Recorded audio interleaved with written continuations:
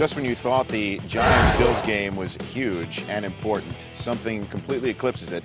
The fact that Kevin Everett, who suffered what appeared to be a paralyzing injury in week one of the NFL season, arrived for the week 16 home date and walked And walk. Bless him. into the building. Wow. Amen. So that's great to see. As for the game that he saw, Tom Coughlin in wet, occasionally snowy, inclement weather.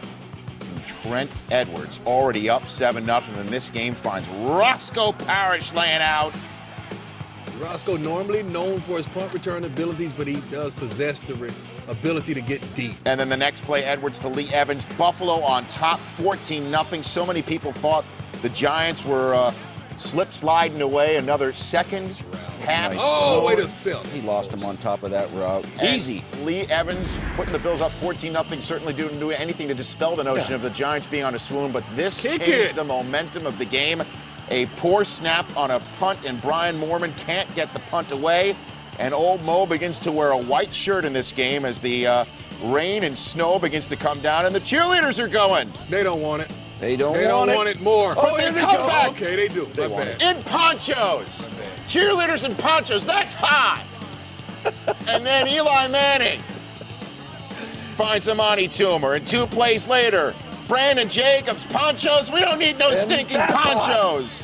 You want Eli Get to be back in the successful? Have him hand the ball off. Is that your analysis right there? Yes. Jason Peters, Pro Bowl tackle, goes down on the next possession for Buffalo. So uh, he goes down, and then the Giants begin their comeback again with this moment when Jeff Feagles punting away is roughed by Donte Whitner. An easy flag for the refs to toss as the helmet met with inside left thigh.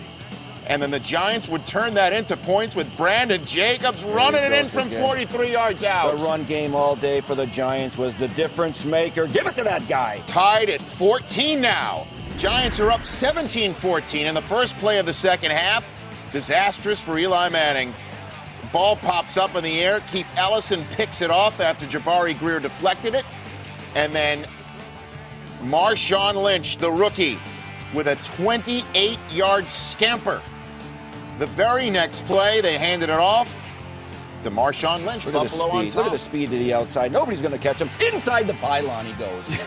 21 to 17. That's the key is to go inside. Yeah, inside the works. pylon. You're going to have to coach us up on that later. Ensuing Giants possession. Here comes Brandon Jacobs again, but he comes up gimpy.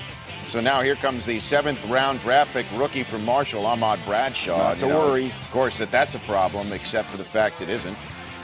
Wow, he goes seemingly in the end zone, but the refs say Great his call. knee comes down, and That's that is true. Great call. Not Where the ball is when the knee goes down. in the end zone, and that's a crucial call because a goal line stand ensued. John McCargo pops Reuben Droughns for a loss of four on fourth and one, and the Giants come away with nothing. Fourth quarter, Buffalo still on top 21 17, and then the ball's put on the turf. This coming after the timeout. Disappointing play. Ensuing possession for Buffalo, though, they give it right back. oh, boy. It's Kawika Mitchell off the tip drill, 20 yards to the house. Touchdown, Giants back on top by three. Great pass. Hit him right in the chest with the ball, and the defense made the play. And the pick six brought down Snow. Look at that coming down. Three possessions later for the Giants. It's Ahmad Bradshaw and the Snow Flurries with a flurry of yards. See ya. 88 yards, longest run in the NFL all season. The rookie from Marshall looking like Marshall Faulk.